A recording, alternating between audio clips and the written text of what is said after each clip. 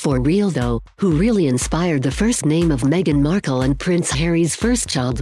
The Duke and Duchess of Sussex debuted their son and revealed his name, Archie Harrison Mountbatten Windsor, on Wednesday, two days after he was born, and shared a new pic of him on Sunday, Mother's Day. They have so far offered no explanation about his name.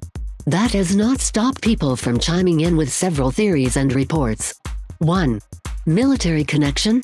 On Sunday, The Sun on Sunday reported that Archie's name was inspired by the nickname of Tom Archer Burton, Harry's former British Army commanding officer.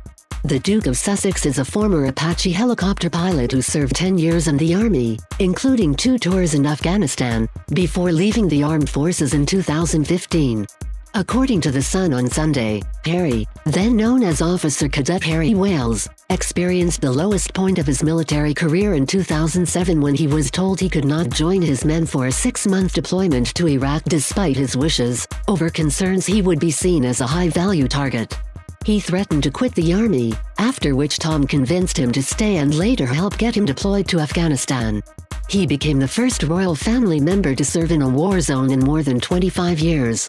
It's well known in army circles, and Archie's inner circle, that baby Archie is a nod to him, a source told the newspaper.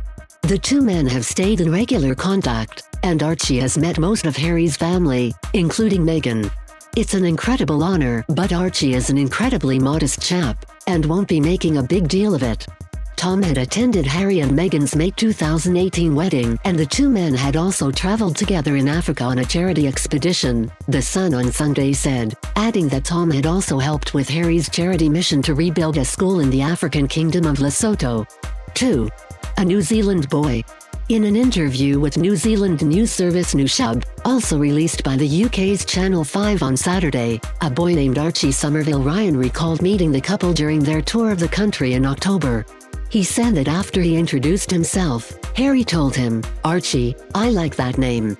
3. A tribute to Meghan's late cat. The Sun had also recently quoted what it called a former friend of Meghan as saying that the Duchess of Sussex used to have a cat named Archie. 5. A tribute to Meghan's dad? The Sun reported that Meghan used to collect Archie comic books with her now estranged father Thomas Markle. She would spend her weekends going to vintage stores to buy the comics. This could be a little nod to her dad, The Sun quoted Meghan's former close friend as saying. It was him who instilled that hobby into her, that was their activity together. He would drive her around and also surprise her with vintage volumes. She had at least 100. This may be a way to reach out to her dad, even after all that's happened. 4. A tribute to the Archie comics? According to The Sun, Meghan's late cat was named after the title character in the Archie comic books.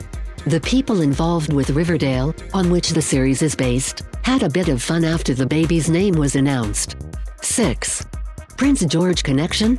In January, Harry's five-year-old nephew and Prince William and Kate Middleton's eldest son Prince George told a dog walker he met that his name is Archie.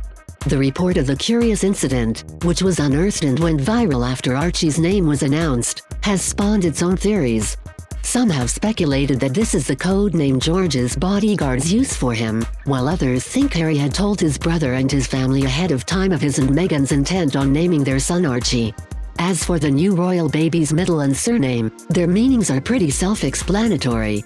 Harrison is thought to be an homage to the baby's dad, as it literally means son of Harry, the baby's last name is a hyphenated combination of Queen Elizabeth II's surname Windsor and her husband Prince Philip's adopted surname Mountbatten, and is often used by her male line descendants who do not have royal styles and titles.